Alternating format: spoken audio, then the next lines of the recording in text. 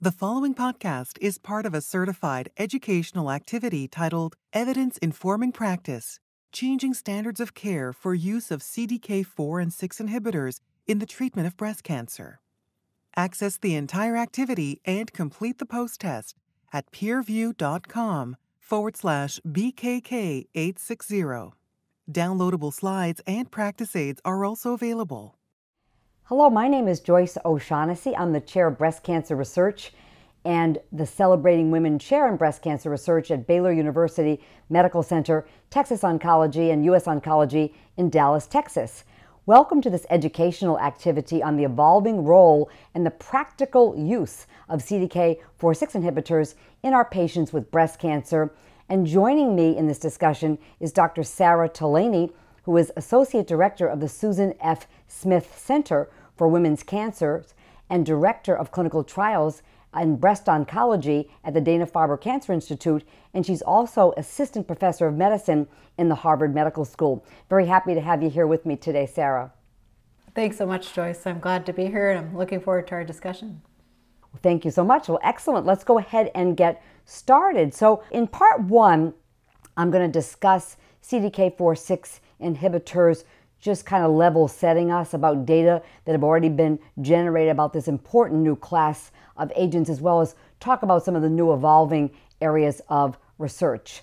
So, we're going to talk about the foundational aspects of CDK4/6 inhibitors, including mechanisms of action, the data that led to the current ap- approvals and indications of CDK4/6 inhibitors, and some of the similarities and differences among the agents. So, first of all, we know that the estrogen receptor leads to the transcription and production of cyclin D1. And cyclin D1 complexes with these proteins, these kinases, CDK4 and 6, and you can see the complex there. And when they when they join, then CDK4 and 6 they phosphorylate the retinoblastoma protein, which then is liberated from E2F and drives that cell cycle. So certainly in ER positive breast cancer, cyclin D1 and CDK4/6 are the key nodal points for cell proliferation.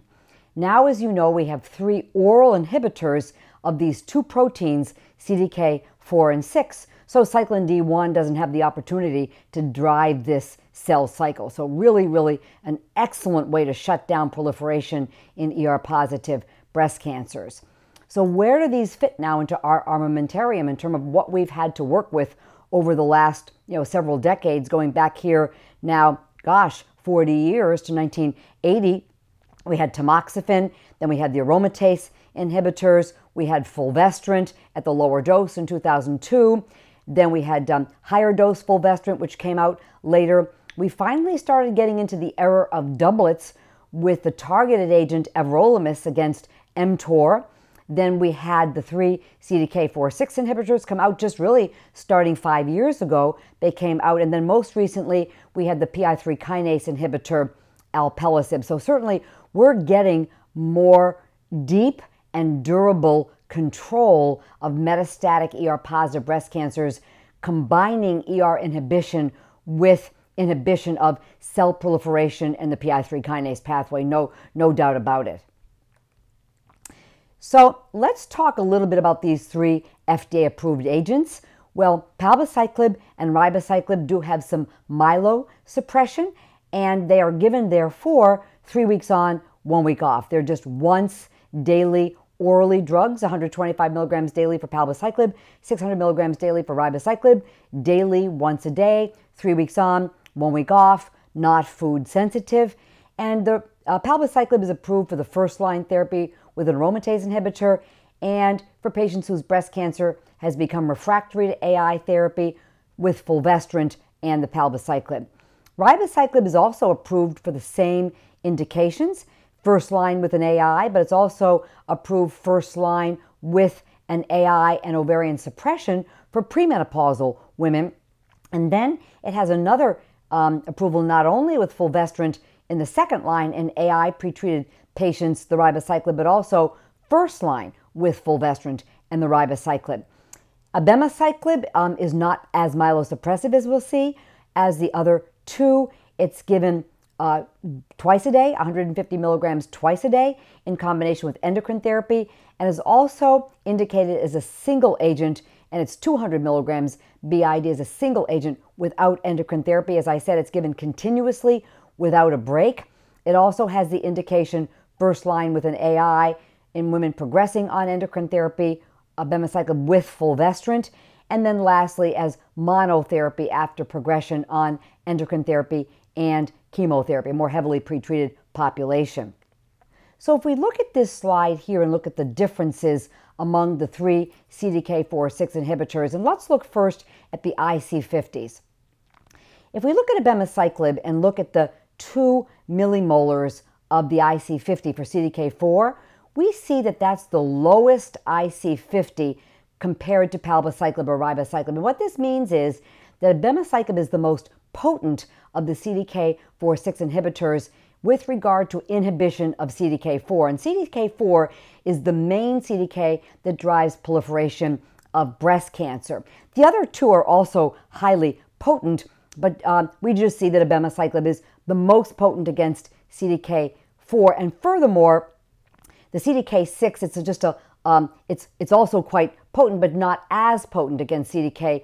Uh, That's why it doesn't have as much myelosuppression, because when you inhibit CDK6, you get more in the way of hematologic toxicity. So you get more in the way of GI toxicity if you inhibit CDK4, hence the uh, toxicity profile of abemaciclib. And ribociclib and uh, palbociclib are about equipotent and very highly potent against CDK4, and um, the palbociclib is a little bit more potent against CDK6 than is the ribociclib, but they're very, very uh, close. So let's look at response rates too as monotherapy in the heavily pretreated population because that also differentiates the agents. And we see for abemaciclib, the response rate was 20% and it was 6% with palbociclib and 3% with ribociclib. So um, as we'll talk about here in a moment, the abemaciclib has a broader mechanism of action. Um, it inhibits CDK4/6, but also other uh, CDKs as well. And I think that helps explain its activity even in the late line setting in heavily pretreated patients. What about CNS penetration? We do know that uh, abemaciclib does penetrate the CNS, as we'll see from Sara here in a few minutes. And it's possible that palbociclib and ribociclib do as well. We just don't have as much information at this time. What about toxicities? There are differential toxicities as well with the palbociclib and ribociclib having approximately 50 percent of patients or so who will develop grade 3 4 neutropenia. Fortunately, the incidence of febrile neutropenia is indeed very low in the 1% range, so that's really fortunate for our patients. Whereas the abemaciclib, the rate of grade 3 4 neutropenia is only about 27%. So it's less myelosuppressive, as we said, and a little bit more uh, thrombocytopenia with palbociclib and ribociclib and less with abemaciclib as well. Now, on the other hand, the abemaciclib does have the toxicity of diarrhea. And we see that in when you give the abemaciclib with endocrine therapy, the grade 3 4, it's really almost all grade 3 diarrhea is 9.5%. And then when you increase the dose of abemaciclib to 200 milligrams BID as monotherapy, it's 20% grade 3 diarrhea. So that is the distinguishing toxicity of the abemaciclib, and Sara and I will talk a little bit later about how we manage the diarrhea of abemaciclib, and it has less myelosuppression, more myelosuppression with the palbociclib and the ribociclib. And then down the bottom, you see that there's a 8% of patients have low grade, grade 1, 2 prolongation of QTC. With the ribociclib, it tends to be something that simply goes away, but we do want to be aware of drug drug interactions with regard to um, exacerbating QTC prolongation with uh, ribociclib. I, I did want to say a few words about the difference between chemotherapy induced neutropenia and palbociclib or ribociclib or abemaciclib induced neutropenia.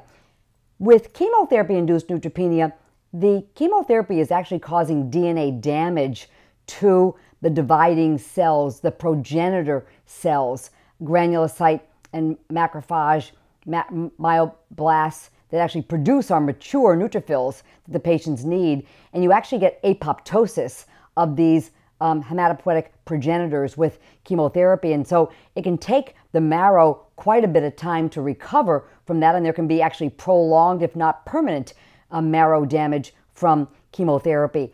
Totally conversely, with the CDK4 6 inhibitors, there is no DNA damage, there's no apoptosis.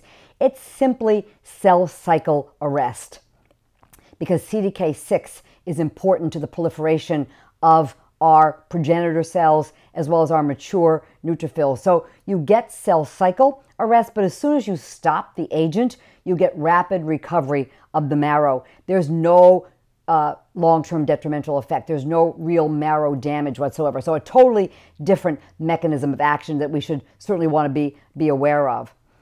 The other thing I find is really fascinating are recent published data from folks at Harvard that have really looked at the spectrum of activity of abemaciclib versus palbociclib and ribociclib. They all are highly potent in inhibiting cyclin CDK4 and 6. But the abemaciclib also inhibits CDK1 and 2. And that's very important because cyclin E complexes with CDK1 and 2, and it's an alternative way for breast cancer cells, including more aggressive ER positive breast cancers, to drive that cell cycle. So, the major uh, potency of abemaciclib is against CDK4 and 6, but also there's activity against CDK1 and 2. And personally, I think that's why we see later line activity of abemaciclib. Part of it's the potency against CDK4, but also I think it's the broader spectrum of activities. We get more aggressive type of breast cancers, more genomically unstable, multiple subclones of disease. It's helpful to have an agent that has a broader spectrum of activity. So this um, nice paper here really nicely illustrates um, the broader spectrum of activity of the abemaciclib. So with that background on mechanism of action, let's take a look at the clinical evidence that supports our day-to-day practice utilizing these agents. So there have been five first-line studies of these three CDK4/6 inhibitors in ER positive, HER2 negative metastatic breast cancer patients.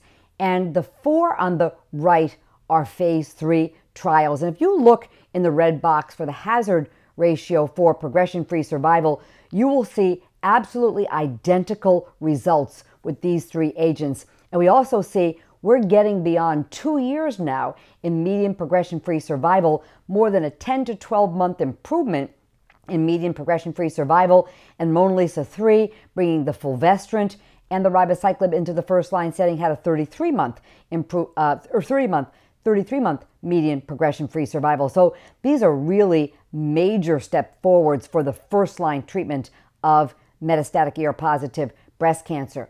What about in the second line setting? And this mainly is second line, or if your patient had recurred on an adjuvant AI or within a year of finishing her adjuvant AI, and you want to use fulvestrant as your endocrine therapy. These data would speak to that patient as well as someone who might have had first line AI therapy, developed progression of disease. Now you want to use fulvestrant. You would utilize these data to inform your practice. And again, with all three of these agents, palbociclib with Paloma 3, abemaciclib Monarch 2, and ribociclib MONALEESA 3, we see in the red box again um, identical hazard ratios, the same effectiveness at prolonging progression free survival. I'll just point out at the bottom that the Paloma 3 population was a more heavily pretreated population. About 34% of patients had had chemotherapy in the metastatic setting. They had had more lines of endocrine therapy. You see the same differential effect um, on progression free survival, but you'll see the absolute numbers, the absolute uh, magnitude of benefit will be a bit different just because it's simply a more heavily pretreated population. But these three agents all have the same magnitude of effect on progression free survival in combination with uh, fulvestrant. What about the premenopausal patient? The pivotal trial that led to FDA approval for the premenopausal patient is the MONALEESA 7 trial, and this is first line metastatic breast cancer, ER positive, HER2 negative, premenopausal women, all of whom received ovarian suppression with goserelin, and they had the physician's choice of tamoxifen or nonsteroidal AI randomized to placebo versus ribociclib. And if we look at the hazard ratio for progression free survival here, we see the same exact benefit we saw in the postmenopausal women. The bottom line, in my opinion, with the premenopausal women is they benefit just as much as the postmenopausal women. We just want to go ahead and add an LHRH agonist to their endocrine therapy and their CDK4/6 inhibitor. We can see in the Monarch 2 and Paloma 3 that they also benefit equally well from uh, fulvestrant with a CDK4/6 inhibitor as long as a GnRH analog is added to the uh, their endocrine therapy. I do want to point out in MONALEESA 7 that the FDA approved uh, ribociclib only with a nonsteroidal AI in the premenopausal women, not with tamoxifen, because who knew? But tamoxifen also has a low grade incidence of prolonging the QTC a bit. Of course, it's to- totally of no clinical consequence, and so they just thought it was prudent not to combine ribociclib, which also has this same, you know, very, very low effect. So they just decided we shouldn't combine those two and just approve the nonsteroidal uh, AI for the premenopausal women. Now, I guess most importantly, do our women live longer with the use of CDK4/6 inhibitors for their metastatic breast cancer? And thankfully, the answer is yes, they do. If we look here at the Monarch 2 trial as an example, and we'll go through all the data here, we're in the second line setting now fulvestrant abemaciclib versus fulvestrant and placebo, AI pretreated patients. We saw the strong effect on median progression free survival and now we see, very fortunately, just presented uh, last year, late last year at ESMO and published by George Sledge in JAMA Oncology very recently, we see a survival advantage here with a hazard of 0.75 and about a nine month or so improvement in overall survival. And the curves continue to split apart over time. Very, very gratifying, difficult to see, as you know, in the metastatic setting. And we can see the survival curves pulling apart very nicely in the patients with primary resistance. We see the hazard here for survival of 0.68 with the abemaciclib. We also see the curves pulling apart later in those who develop secondary resistance. So they benefit from endocrine therapy, and then later on, there's an acquired mechanism of resistance to endocrine therapy we do see that the abemaciclib is also helpful for those patients. But note how quickly the curves split apart in those patients who have primary resistance. The abemaciclib takes hold of that cancer very, very quickly, even though the endocrine therapy basically is of no utility to the patient really at that, at that point. What about the MONALEESA 3 and overall survival? Again, this was a mixed population, first and second line patients. They all received fulvestrant with ribociclib versus the uh, placebo. And very gratifyingly, in this large trial, 726 patients, we see a very nice survival improvement with a hazard of 0.72. And we see um, the survival has not been reached yet with the ribociclib and fulvestrant. It was 40 months with placebo and fulvestrant. And we see at 42 months, for example, we see an improvement of about um, 12% absolute improvement of patients still alive at the 42 month mark uh, in favor of the ribociclib and the fulvestrant. Very good to see. And we also see if we break it down into the first and the second line setting, we see these are not statistically significant because they're smaller subpopulations, but we see that the curves look really the same as the overall treated population, strongly suggesting that whether you give the ribociclib fulvestrant first line or give it second line, that we're going to favorably impact survival, which is very, very exciting. Interestingly, in the MONALEESA 3, if we look at the primary endocrine therapy resistant versus endocrine therapy sensitive population, who then go on to the fulvestrant and ribociclib, there we see equal activity of the ribociclib um, in both the primary endocrine therapy resistant and sensitive. So that's good. We can get benefit from the ribociclib in both of these uh, populations. With regard to Paloma 3, which was, first of all, a smaller trial, 521 patients, and as we mentioned, a more heavily pretreated population. in the entire cohort, we do see a seven month absolute improvement in overall survival utilizing the palbociclib with fulvestrant in the second line setting in Paloma 3, and the hazard 0.8 is just a little shy of full statistical significance. Interestingly, if we look at the endocrine therapy sensitive population, we have a 10 month improvement in median survival with a hazard of 0.72. But in the primary endocrine therapy resistant group, we do not see an improvement in overall survival. So, this is really very, very interesting, puzzling. It's certainly different than the two studies we just went over. And if we look at this forest plot and just look in the middle here, and we're looking at prior chemotherapy in this population, we see that in the metastatic setting, patients who got metastatic chemotherapy, we don't see any benefit from survival with the palbociclib. Conversely, in patients who had not had chemotherapy in the metastatic setting, who indeed were the same as the patients who got fulvestrant and abemaciclib or fulvestrant and ribociclib, they didn't get any metastatic chemotherapy. Here we see that the hazard here is 0.68. The confidence interval is cross 1. This is a smaller subpopulation, but it really raises the question of whether the survival difference seen here in the primary refractory patient population, where we did not see a survival advantage, may be due to simply patients having had antecedent chemotherapy in the metastatic setting. So I just wanted to stop at this moment because this is an area that comes up quite frequently. I just want to get Sara's input into how she thinks about the survival differences in these trials. And I think it's a really good question. Um, certainly, we do see significant survival benefit in Monarch 2, um, for example, but don't see it here in um, Paloma 3, or, and conversely, we did see it in MONALEESA 3. But I think when putting it into perspective, we can see that all these trials had such different eligibility criteria.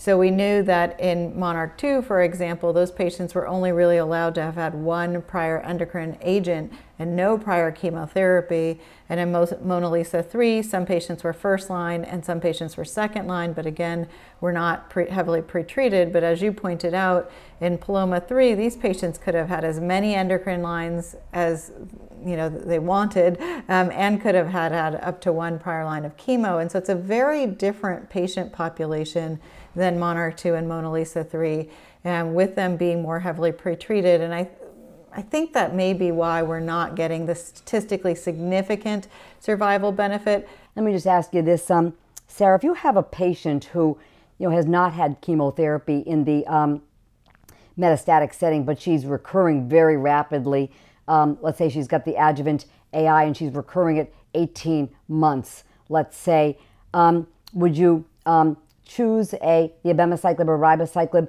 for that patient, you know, strictly on the basis of this subset analysis for survival? I must say I probably would, um, although I, I, take, I take the point that um, in those who did not have chemotherapy here, we do see that point estimate, you know, uh, trending towards improvement, but it's really this primary endocrine therapy uh, resistant population where we don't know for sure that those were all the ones that had had chemotherapy. We're just not sure. Probably so. If they were primary endocrine therapy refractory, physicians would probably preferentially give those patients the chemotherapy. I just don't know it's the same exact patients, but would you utilize these data then in terms of you know guiding therapeutic recommendations for patients with primary endocrine therapy refractory? Yeah, no, it's a, a good question. Um, you know, I think interestingly, if you look at Monarch 2, um, those patients who were not endocrine sensitive actually seemed to have an even bigger reduction, you know, in their hazard um, from adding abemaciclib than those, um, you know, who are more endocrine sensitive. And so it makes me wonder if, which is different than what we're seeing in Paloma 3, right? Um, where we're seeing not seeing benefit in the endocrine refractory population. So it, does bring up into question if there are also differences between these CDK4/6 inhibitors in where we're seeing benefit. Obviously, these are, you know, exploratory analyses, um, and it's hard to draw any definitive conclusions. But I do think, you know, I certainly would consider trying um, a CDK4/6 inhibitor in that patient and potentially consider abemaciclib in that particular patient. Thanks. Thanks so much, Sara, for the for the discussion on that. Let's turn to CDK4/6 inhibitor as monotherapy and also in combination with endocrine therapy in later lines of a therapy. And we have the Monarch 1 data that did lead to FDA approval of abemaciclib at the higher dose of 200 milligrams PO BID. The response rate was 19.7%, and the clinical benefit rate was 42.4%. And these patients have been pretreated with chemotherapy and endocrine therapy multiple lines. So it's nice to know we do have efficacy of the abemaciclib in late, late line patients. What about combining the CDK4/6 inhibitors with other agents besides AIs and fulvestrant? What about tamoxifen? This next Monarch 1 trial was quite interesting. It was the same patient population as the Monarch 1 patients, again, pretreated with chemotherapy and endocrine therapy, a randomized phase 2 to abemaciclib 150 BID with tamoxifen versus abemaciclib 150 BID without tamoxifen. Interesting question. And then also abemaciclib 200 milligrams BID, the labeled dose with prophylactic uh, loperamide. We see that about a third of the patients in all the arms had already had tamoxifen, and now we're looking at tamoxifen to see if it helps them late line with abemaciclib. And basically, the winner, if you will, of these three arms with, with regard to median progression free survival was the lower dose of abemaciclib, 150 milligrams BID, with tamoxifen. That was helpful to me. I, it, I think this has told me that, you know, if I'm going to give a CDK4-6 inhibitor, I think I'm going to give it with endocrine therapy. And if I'm going to give abemaciclib, I will give the 150 BID and I'll give it with uh, endocrine therapy because there is more diarrhea, as I pointed out, with the 200 milligrams BID. So I'm going to go with the 150 and I'm going to give it with endocrine therapy, even in the later line setting. So, with that, I'm going to turn us over now to Sara, who has done some work herself in patients with CNS metastasis, and she'll pick it up from here and tell us about some additional data. Oh, thanks so much, Joyce. Um, so, I think we have seen some early data that has emerged looking at CDK4/6 inhibitors for patients who have brain metastases. And so this comes from work that was done looking at abemaciclib um, in different cohorts of patients. So one cohort was very interesting in that it took patients who had an ER positive brain metastasis, but then we're going to have surgical resection for that brain metastasis. And they gave them a window of exposure of the abemaciclib prior to going to the operating room to have that tumor resected, and then looked at drug levels of the abemaciclib in the tumor as well as within the CSF and plasma and what they found was that actually the drug levels were comparable, suggesting that the drug was getting from the bloodstream into the tumor and into the CSF. And in fact, the drug levels in the brain were actually slightly higher than even the plasma, which is very interesting, um, suggesting very good concentration in the tumor. Um, so this is certainly very important because it means that the agent can get into the brain um, and get into the tumor. But then I think what was particularly important was also that it can have activity in someone who has CNS metastasis. So in a cohort of patients who had ER positive, HER2 negative brain metastases, when treated with abemaciclib, this was at the 200 BID dose. The response rate at time of the final analysis for this was actually 5%. So, you know, overall the response rate was on the lower side, but as you can see, there are multiple patients who have reduction in their um, tumor size and many patients who are deriving clinical benefit from treatment. Um, and so I think this was really a proof of principle that abemaciclib can have activity for patients with ER positive brain metastases. And I think very interestingly, there can also be some activity for patients who have leptomeningeal disease. So there was a separate cohort for patients who had ER positive, HER2 negative leptomeningeal involvement. And there was one patient who actually did achieve a complete response in their parenchymal lesion um, in this cohort of patients. And I think importantly, survival for this cohort was a little over eight months. And we know that unfortunately, survival in patients who have leptomeningeal disease is usually just a few months. Um, and so, you know, compared to historical data, this does seem longer than we typically would see. Um, and so I think if there is some suggestion that abemaciclib can have activity for patients with both parenchymal and leptomeningeal disease. Joyce, how have you interpreted these data? Do you think that these data influence you in any way when selecting particular CDK4/6 inhibitors um, for a patient, for example, that may have brain metastasis? Yeah, very, very definitely. Um, and you know, the the data you showed here and were involved with Sara, the response rate, you know, ended up being quite low. You know, just around five percent in the entire cohort in terms of an objective response. So these were heavily pretreated patients, whole brain radiation, multiple rounds of SRS.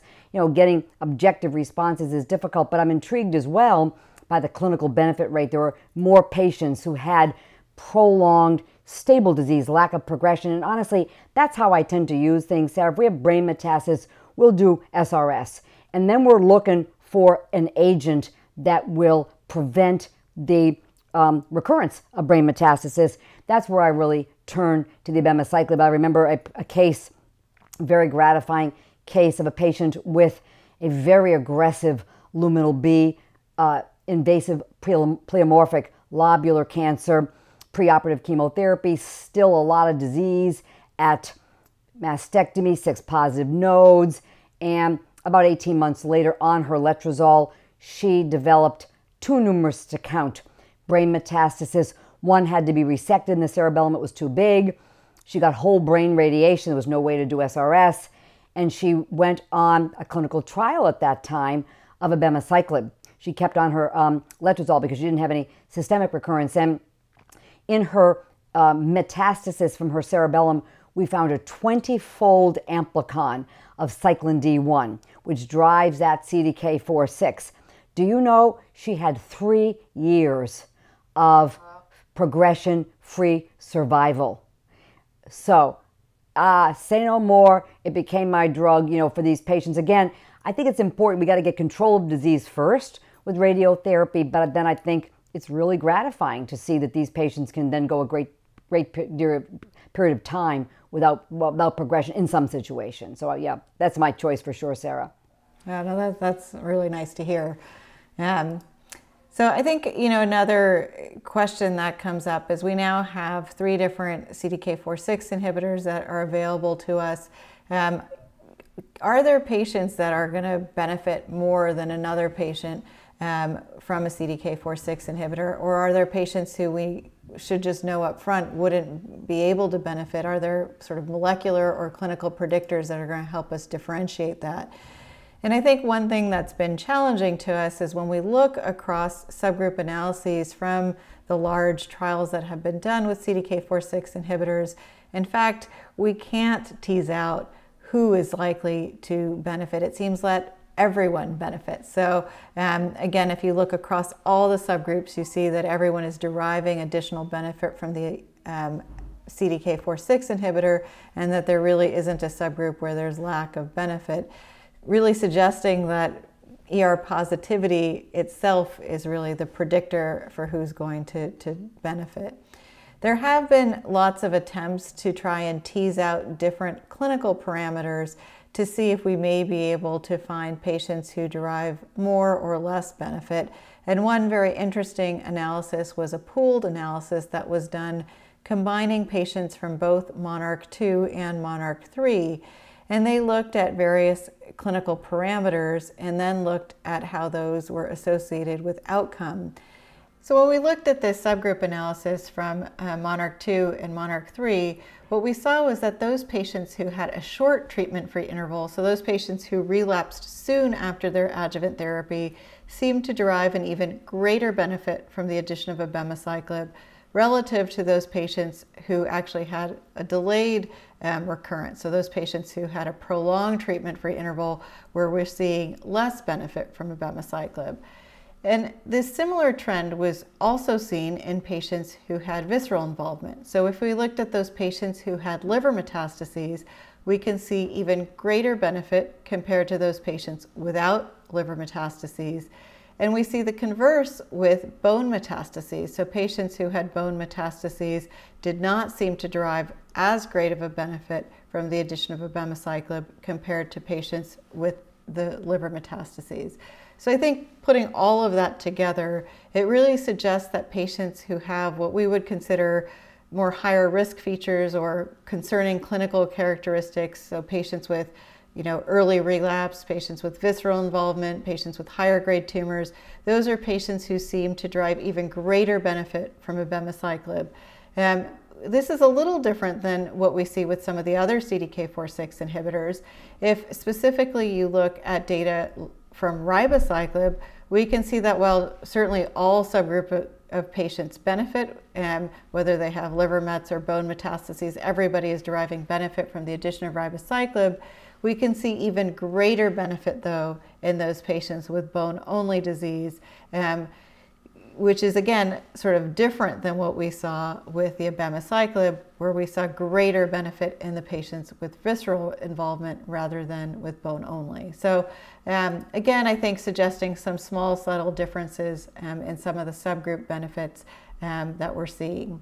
Data that will at ASCO that will be looking at also this correlation of um, whether or not someone has endocrine refractory disease or visceral involvement and correlating it with both progression free and overall survival from Monarch 2, really suggesting that, again, all patients derive benefit, including those patients with these concerning clinical characteristics, such as having endocrine refractory disease or having uh, visceral involvement.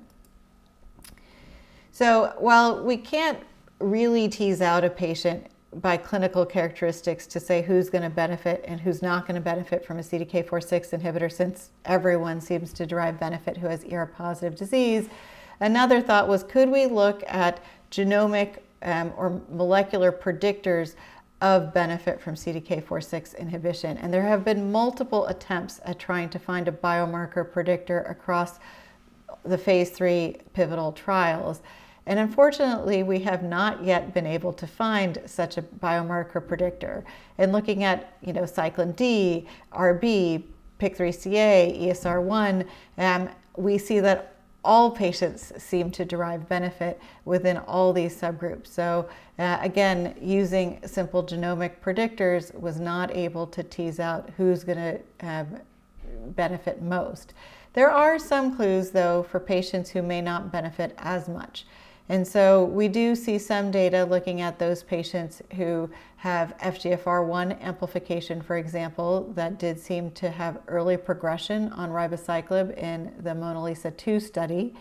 And from Paloma 3, we also saw that those patients who had um, higher levels of cyclin E uh, expression seemed to um, have worse outcomes on the study, whereas compared to those patients who had low levels of cyclin E, they seem to derive greater benefit from palbociclib, suggesting that potentially FGFR amplification and cyclin E um, expression may correlate with less benefit. But I think, again, these are hypothesis generating and will need to be prospectively validated um, with further studies.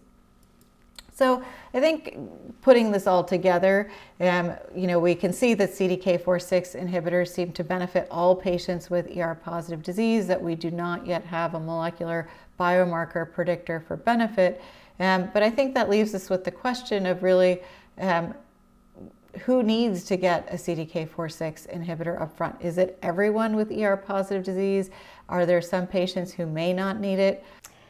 Well, you know, as time goes on, now we've had these agents a few years, I'm at the point where I only would recommend chemotherapy for first line metastatic patients if the end organ function was dysfunctional enough because of the burden of cancer in the organ that I would really only have one chance to get control of the disease. And if it didn't work, then the patients wouldn't be well enough to get a second line. And that's a very small percentage of patients in my practice, probably 10% or less. When now I'm super, super comfortable for the simple reason that the median PFS first line with CDK4/6 inhibitors is well over two years.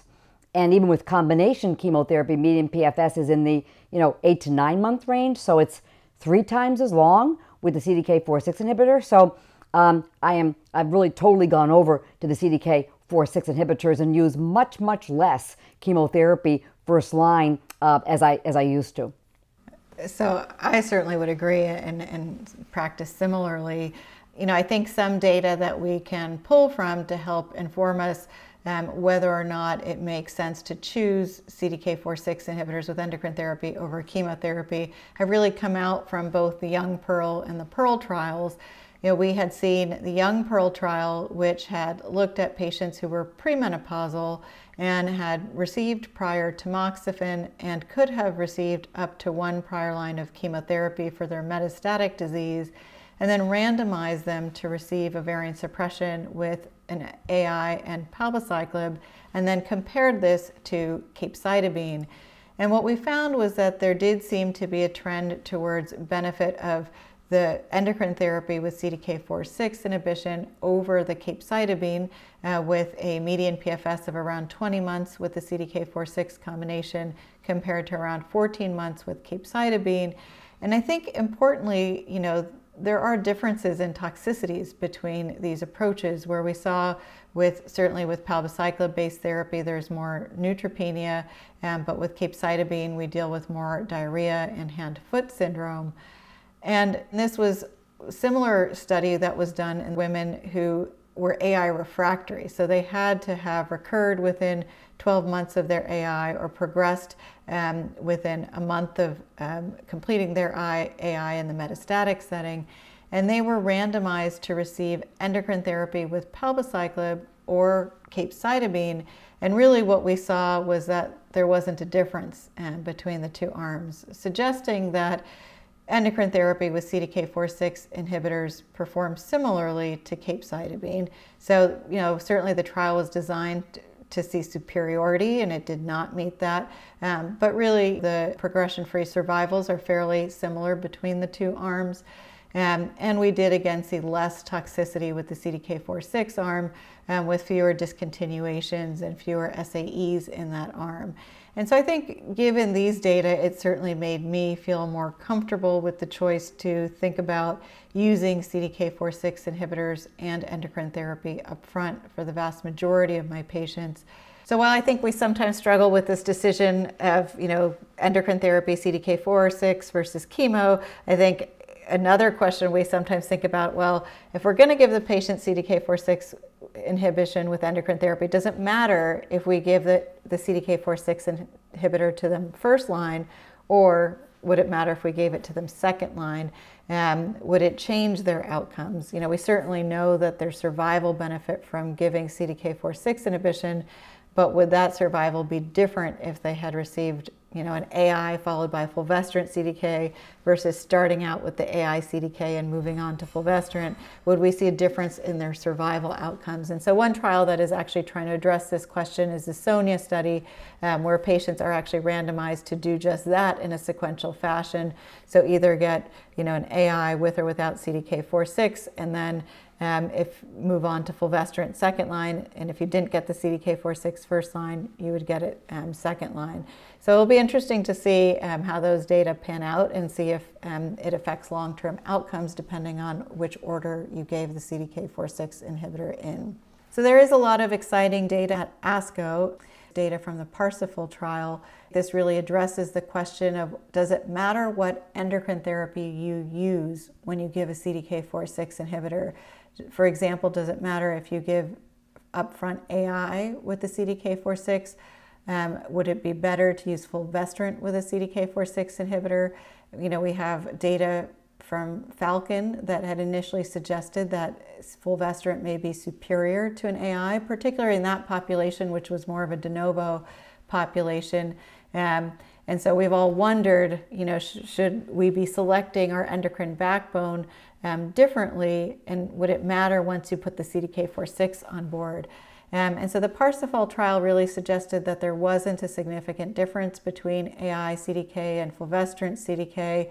Um, you know, it was a randomized phase two trial, um, so not a definitive study. Um, but I think, you know, suggests that maybe when you give a CDK4/6 inhibitor, choice of endocrine backbone may not matter. I like to actually um, utilize the fulvestrant in a later line of therapy. For example, if a patient's PIK3CA mutant, I like to come in with alpelisib and fulvestrant after progression on a CDK4/6. So I tend to still use the AIs um, up front, unless a person has a history of real intolerance to AIs. Then, of course, fulvestrant's a great choice.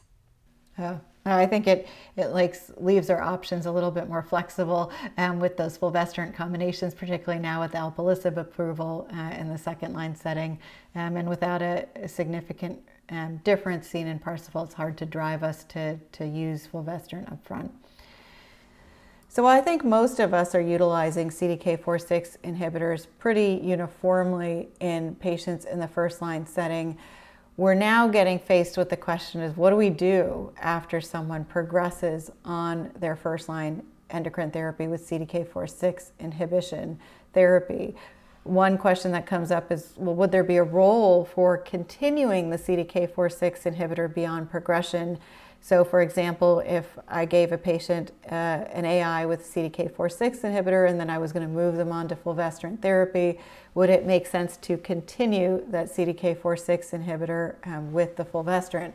And so there are a couple of trials that are trying to address that question.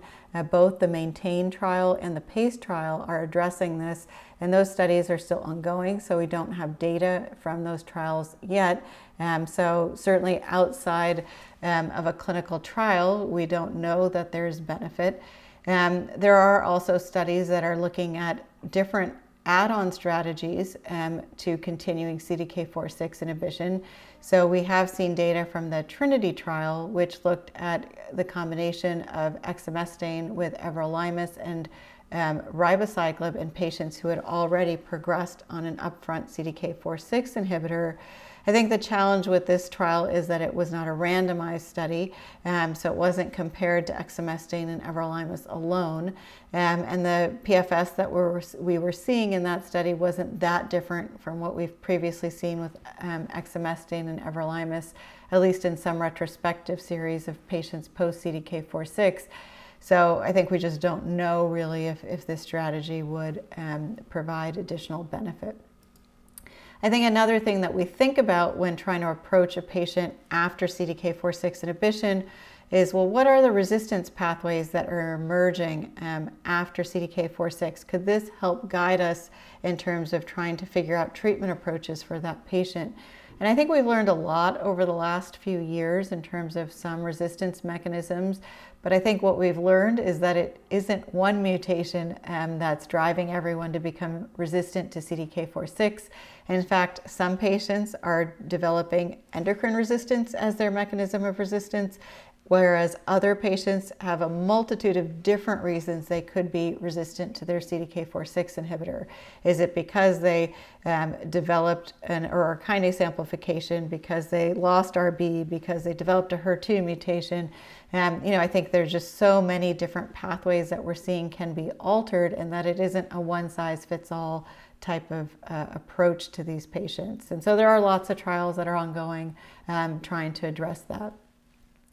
I think one practical question that comes up is what if we switched the CDK4/6 inhibitor? Um, would that actually derive benefit? There's some preclinical data to suggest that abemaciclib can have activity in a palbociclib or ribociclib resistant model, whereas we didn't see that um, with using palbociclib, for example, post abemaciclib, uh, again in these preclinical models.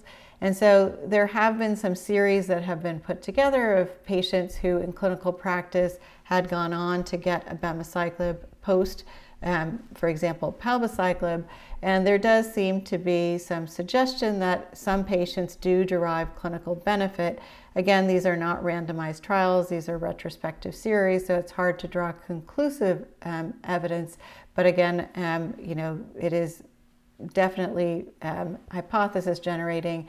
Um, there is actually a trial that was recently closed, but had, I think, I think is more of a proof of principle, but taken patients who got upfront endocrine therapy with um, a CDK4/6 inhibitor that was not abemaciclib, so it could be palbociclib or ribociclib, but then continued that same endocrine backbone and just switched them to abemaciclib. because I think that would really be a proof of principle is can you then reverse that endocrine resistance and allow now a new CDK4/6 inhibitor to work.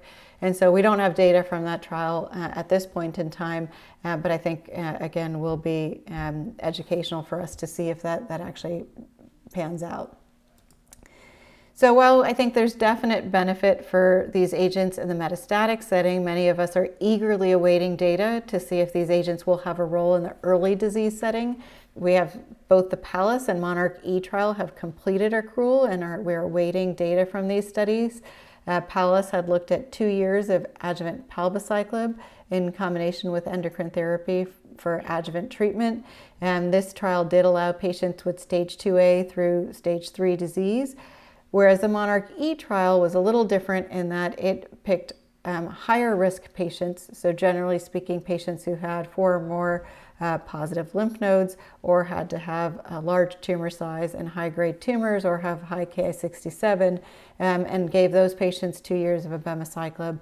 It was recently announced that following a pre planned efficacy and futility analysis, the Independent Data Monitoring Committee of PALLAS determined that the trial is unlikely to show a statistically significant improvement in the primary endpoint of invasive disease free survival. Long term follow up of all patients will proceed as planned. In contrast, it was also recently reported that the Monarch E trial has yielded positive results. Abemaciclib, in combination with standard adjuvant endocrine therapy, has met the primary endpoint of invasive disease free survival significantly decreasing the risk of breast cancer recurrence or death compared with standard adjuvant endocrine therapy alone. The results are from a pre planned interim analysis and make abemaciclib the only CDK4 and 6 inhibitor to demonstrate a statistically significant reduction in the risk of cancer recurrence for people with high risk hormone receptor positive, HER2 negative early breast cancer. Detailed results will be presented at a medical meeting later in 2020. Um, there is data from Penelope B that is also pending looking at one year of adjuvant palbociclib in patients who had residual disease after preoperative therapy.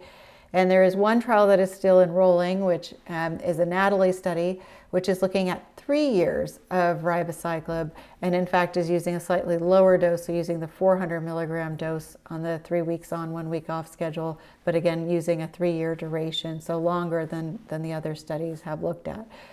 So, you know, while again we've shown that there's activity of combining endocrine therapy with CDK4/6, I think there's lots of interest in seeing if we if we used an add-on strategy to add an additional targeted therapy, could we make um, the activity even better? And so there is some preclinical work suggesting that um, PI3 kinase mutations may decrease sensitivity um, to CDK4/6 inhibition that could potentially be reversed by adding on a, a PI3 kinase inhibitor. Um, and so there are trials um, that have been conducted trying to add on uh, PI3 kinase inhibitors to CDK4/6 with endocrine therapy. And there's also some preclinical data suggesting that CDK4/6 inhibitors can augment the immune response. So they do seem to increase antigen expression, increase interferon signatures, uh, and increase uh, T cell um, infiltration. So, you know, while it's clear that CDK4/6 inhibitors have a role in ER positive disease, um, what I think many of us wonder is will it have a role in other subtypes of breast cancer? So there was um, a trial that was conducted, the Monarch HER trial, that really looked to see if CDK4/6 inhibitors could work in patients with metastatic HER2 positive disease. This trial took patients who had progressed on two lines of HER2 directed therapy for their metastatic disease and randomized them to either receive fulvestrant with abemaciclib and trastuzumab or to receive abemaciclib, trastuzumab, or to receive chemotherapy, trastuzumab. And what the trial demonstrated was that the three drug combination, the fulvestrant, abemaciclib, trastuzumab arm, performed better than the chemotherapy trastuzumab arm with about a two and a half month difference in progression free survival and also doubled the response rate compared to chemotherapy and trastuzumab. And, you know, I think it's really exciting to, to think that we could eventually have an endocrine therapy, CDK4/6 um, inhibitor, anti-HER2 therapy for these patients as a chemotherapy sparing uh, treatment option for patients in the later HER2 um, setting. And so there are further studies being done to explore um, CDK4/6 inhibitors in the HER2 positive space, uh, including the PATINA trial, looking at using CDK4/6 inhibitors more as a maintenance strategy um, in patients who come off their first-line chemo um, trastuzumab pertuzumab combination and go on to that HP maintenance with endocrine therapy and then adding on um, the CDK4/6 inhibitor to that maintenance. And there's also the Patricia trial, uh, which is comparing palbociclib and um, endocrine therapy with anti-HER2 therapy to uh, chemo of physician's choice, including TDM1. So I think there will be more to come for CDK4/6 inhibitors in the HER2 positive space. Sara, thank you for that amazing discussion. You covered a lot of data, very helpful for our practice, but all the new things coming as well. That was really outstanding.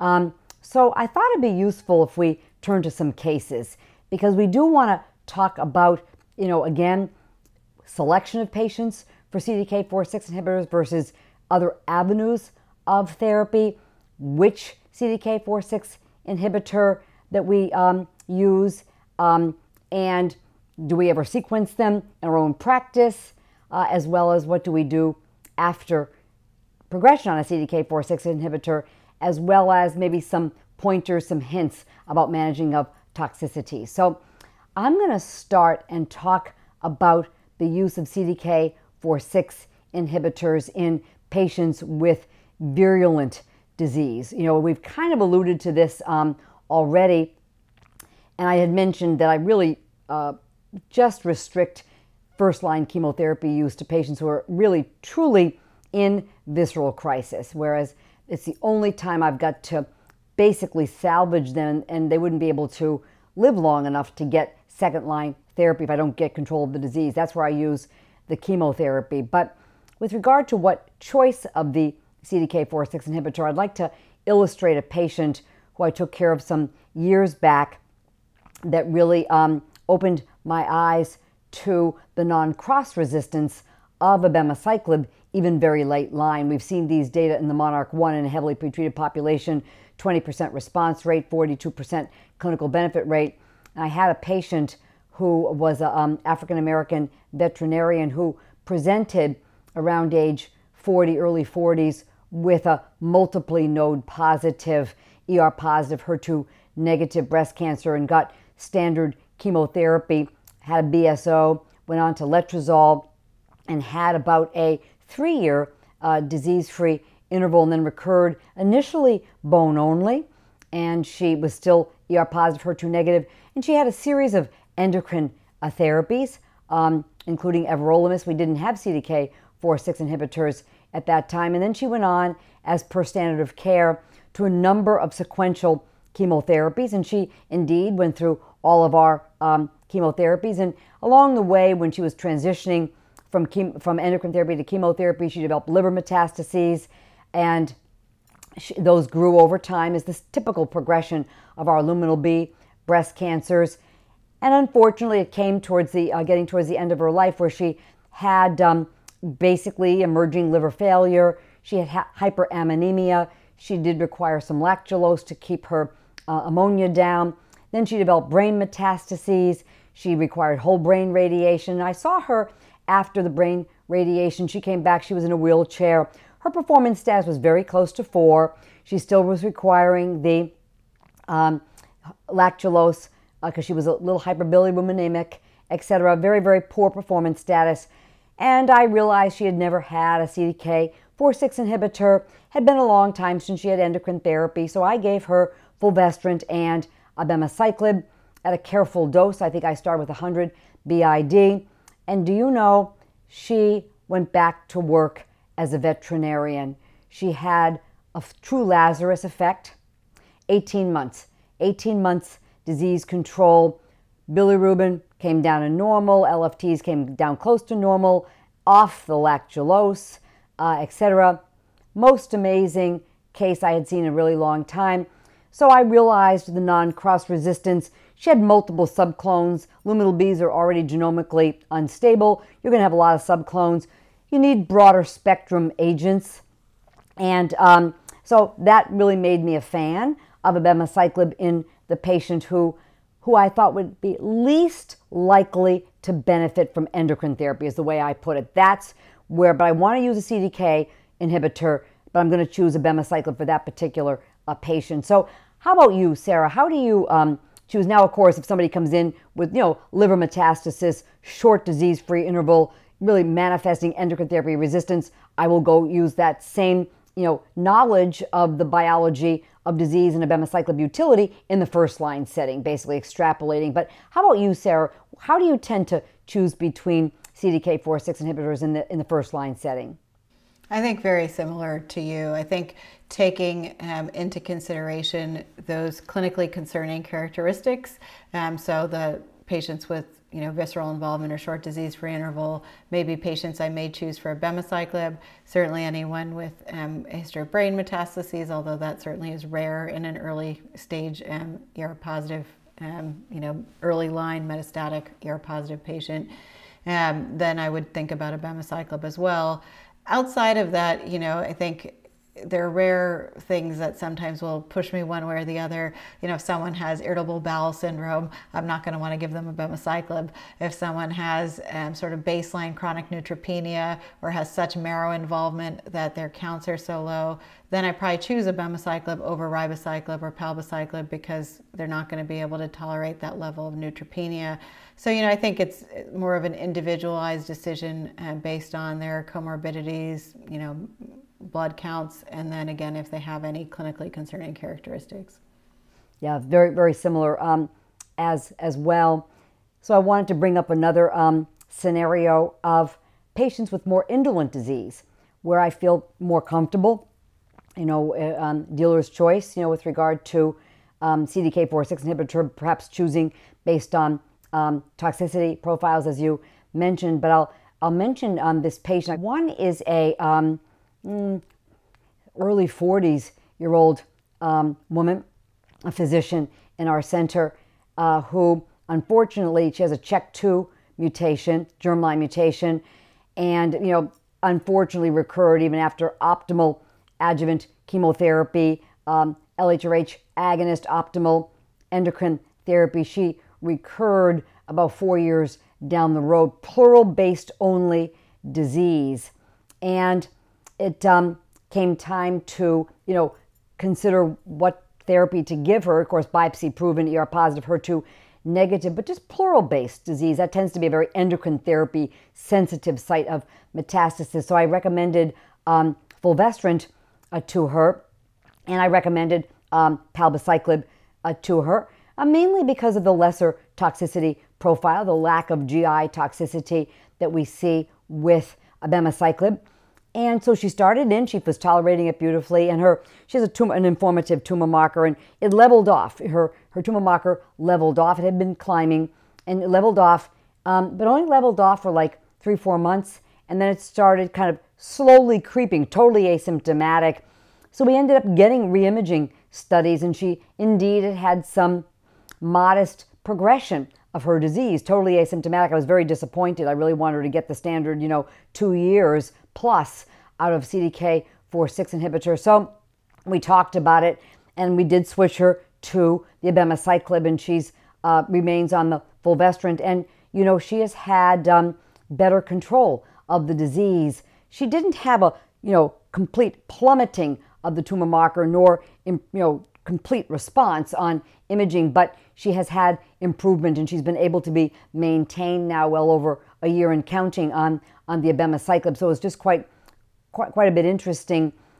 Yeah, and I have um, had a patient similarly, but for a different reason, switch over um, from um, endocrine therapy with palbociclib to endocrine therapy with abemaciclib. In this particular case, she was a 53 year old woman who had metastatic ER positive disease and presented with bone and lymph node involvement. And we had started her on um, letrozole with palbociclib, and she had a really nice response. She was doing well, um, but we couldn't get her to be on the CDK4/6 inhibitor very much. She was always on her letrozole, but every time she'd come in, she was neutropenic. Um, and so I went from 125 of Palbo to 100 of Palbo to 75 of Palbo, and she just couldn't tolerate it. Her counts, you know, were, she was always neutropenic even at 75. Um, so we discontinued the palbociclib, and I kept the letrozole on board, but then switched her to abemaciclib and she was actually able to tolerate the abemaciclib fine. Um, she did have some, you know, intermittent diarrhea, but her counts were um, fine um, at the 150 BID of abema dose. Um, and she was able to remain on it for probably an additional eight to 10 months with disease control. Um, she actually just recently progressed. Um, and interestingly enough, did have an ESR1 mutation on progression by ctDNA. And so she actually just went on to a trial with an oral SERD. Um, so that'll be interesting to, to see how she does. Um, but, you know, I think sort of to your point about individualizing treatments also based on toxicity in this particular case you know it's nice that we have some choices um, and so that we could switch over um, to abemaciclib in her particular case to, to allow her to continue I have I, I have a couple of ex- examples just like that um, as well. And you know, I must say I, I tend to tolerate grade three neutropenia. Grade four, I get I get more concerned about. But you know, some of our patients, you do reduce the dose of palbociclib or ribociclib, but you don't see a big difference. You know, in terms of the hematologic uh, toxicity. But patients do do so well. So I'm always a little reluctant to change. If it ain't broke, don't fix it. So I'm always a little reluctant to change. Although I have had patients I've had no choice. You know, they really get so low on their counts. You know that I have no choice, and I have changed to abemaciclib, and it's been it's been quite quite successful in that regard. So what about um, GI toxicity with abemaciclib? Uh, Sara, how do you approach this? You know, when you're just starting somebody on abemaciclib, how do you tell them what to expect, and what do you kind of advise them? Yeah, no, it's a good question. Um, so we do know that most of the diarrhea that occurs will happen usually with a median to five to seven days with abemaciclib. And so my approach generally is to make sure that they have loperamide at home um, and for some of my women, tell them to put in their purse uh, to make sure that they always have it on them. Um, and that if they do have onset of loose stool, that they should take two loperamide at onset and then certainly repeat loperamide use um, with one tablet if it recurs.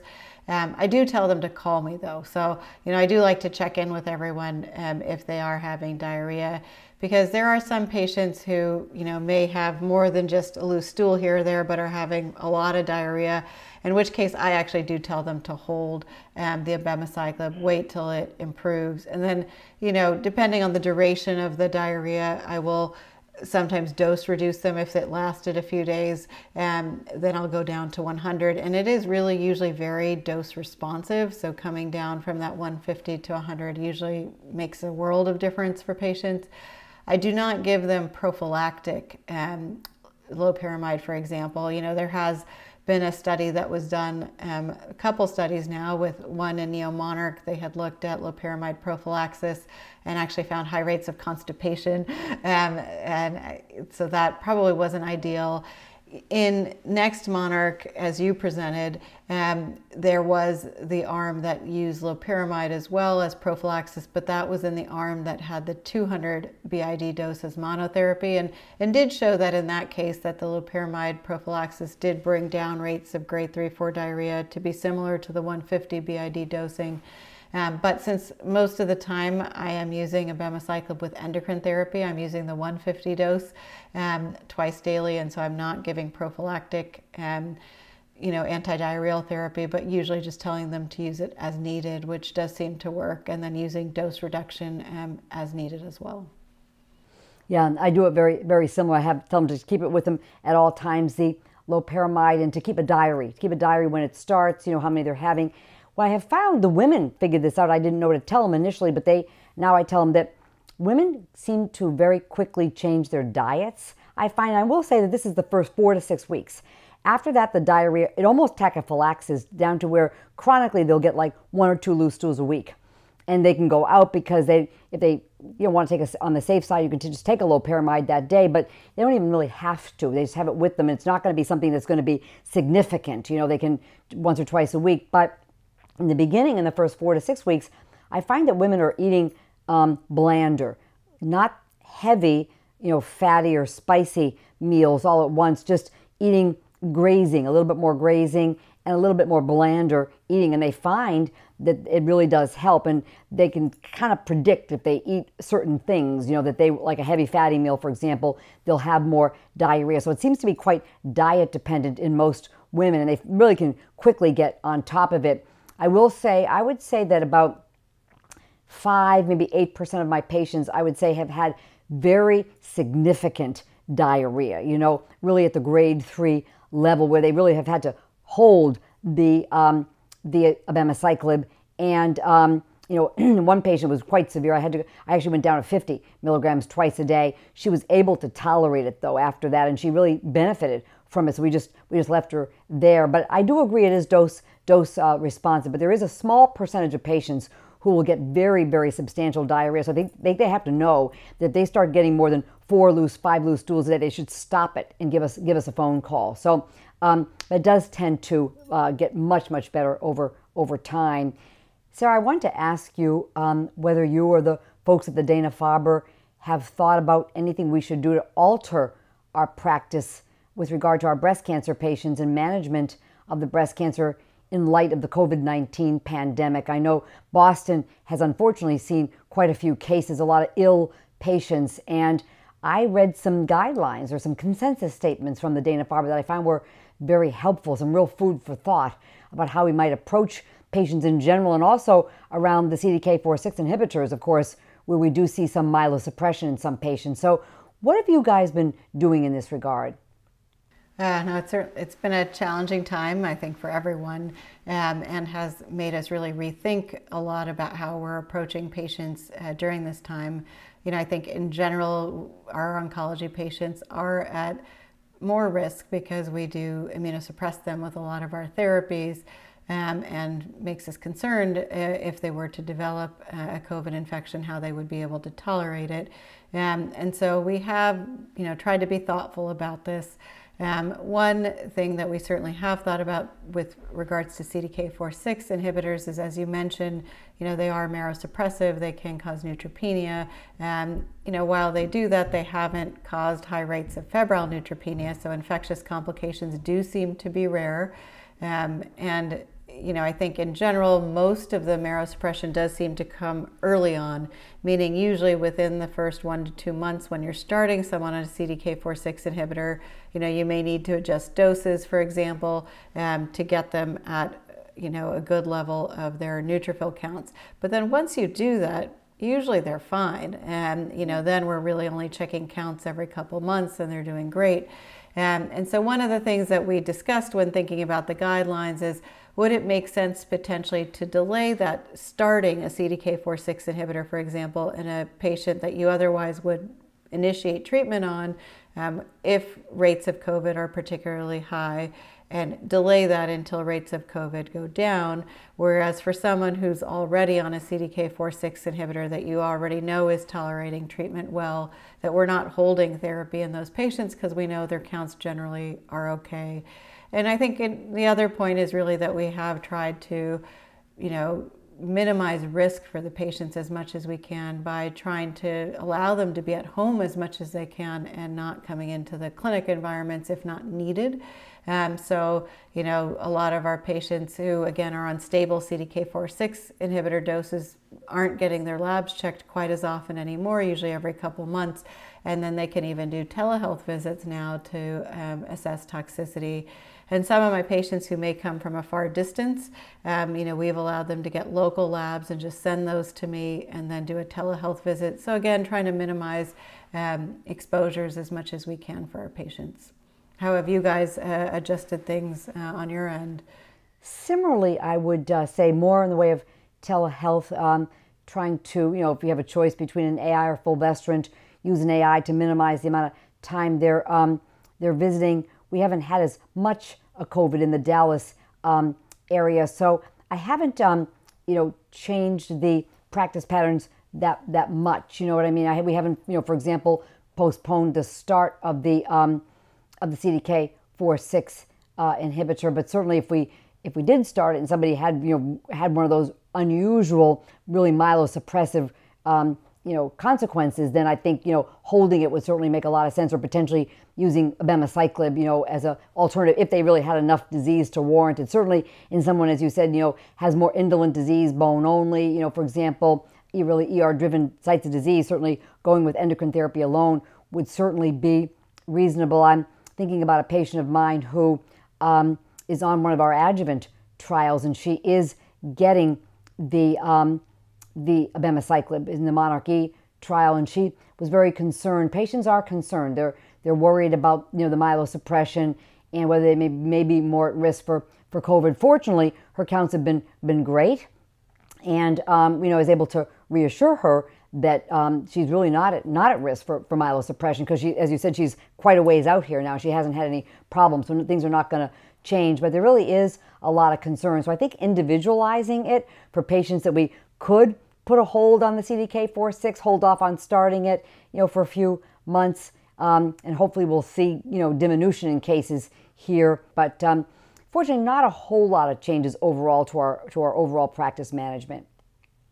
Yeah, I mean, it has also been nice to see the changes that are occurring in the clinic as well. You know, I think, um, you know, everyone now, the physicians, the patients, everyone's wearing a mask. We're minimizing the number of patients who are coming into the clinic.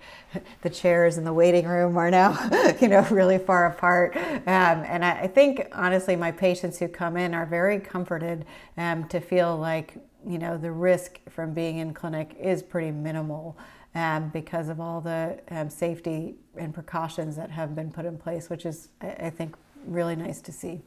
Yeah, means a lot to means a lot to them. You know, really safeguarding their health. Yeah. Sara, I want to thank you so much. It's been so enjoyable talking to you. You've done a fabulous job with the um, summarizing all these data for us. And so this has just been a great discussion overall. And I want to thank you very much for your participation today. We've really focused on when and how to use the CDK4/6 inhibitors in metastatic breast cancer patients, as well as really foreshadowed the data to come, because we'll be using these agents in a lot more settings across the natural history of breast cancer and various breast cancer subtypes. So, thank you very, very much for joining us today. I hope all of you listening have found this discussion to be informative and very useful for your practice. Thank you. Thank you for listening. Download materials and complete the post test for instant credit at peerview.com forward slash BKK 860. This activity is supported by an educational grant from Lilly. For further information concerning Lilly grant funding, visit www.lillygrantoffice.com. This activity has been jointly provided by Medical Learning Institute Incorporated and PVI Peerview Institute for Medical Education.